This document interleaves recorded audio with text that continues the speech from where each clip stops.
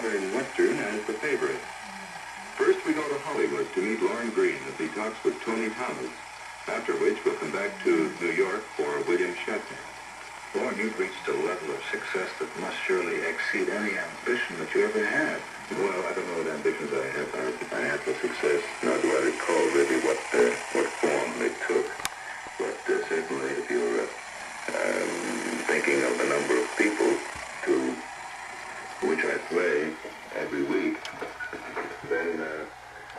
I guess I, I think I'm very successful because uh, I think the number turns out to be at least 300 million people each week, and I don't know of any other show that plays to that many people. I'm very successful that way.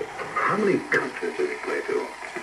Well, uh, it was seen in 56 countries. It must